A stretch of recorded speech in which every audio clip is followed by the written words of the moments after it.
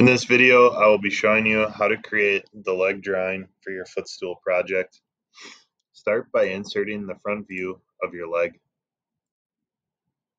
The scale of the inserted view should be 1 to 3, or one third of its original size.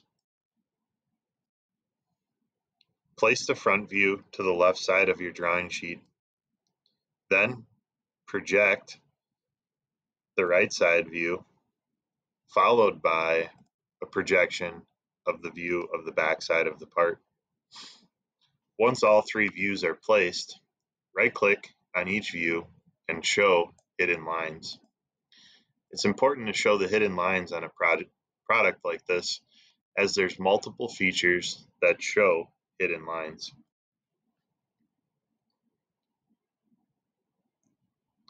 Once that's done, we're going to add center lines. Use the center line tool and add center lines to the holes that are shown in the right side view. We'll use the edge to edge center line tool for this and place a center line on both the counter bores. These center lines will have to be drug beyond the face of the part.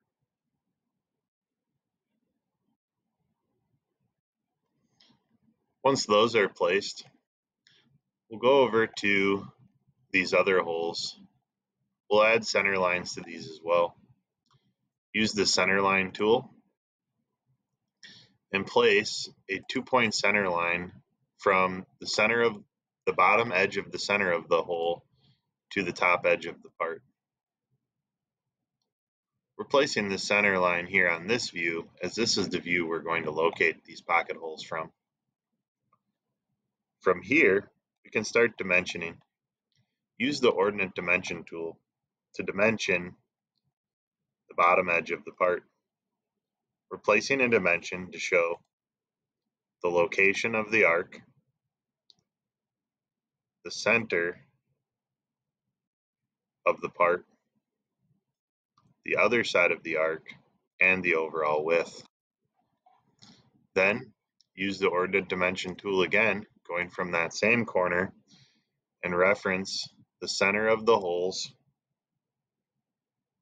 and the top edge of the part. Once completed with that, we can drag these views and move them around so that they're easy to see. Then dimension the counter bore using the hole callout.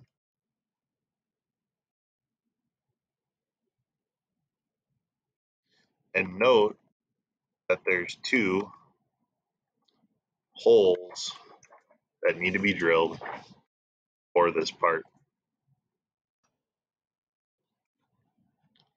Once completed with that, we can put in the overall thickness of the part.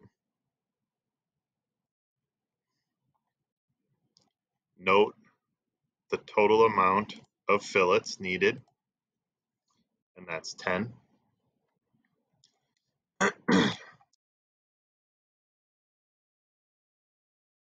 Place the radius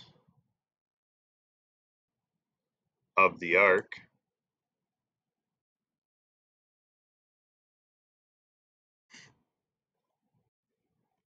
and dimension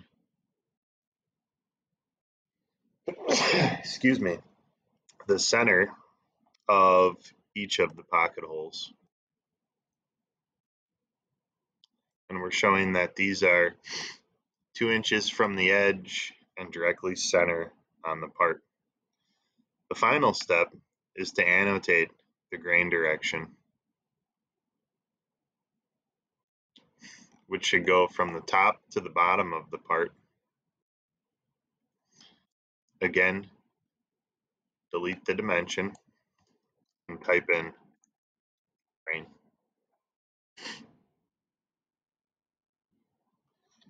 There's a note on the bottom edge of the packet. You can also add in this note in order to show that these eighth inch fillets are needed. This concludes all of the steps required for drawing the leg in Onshape. If you have any questions on creating this drawing page, make sure to ask.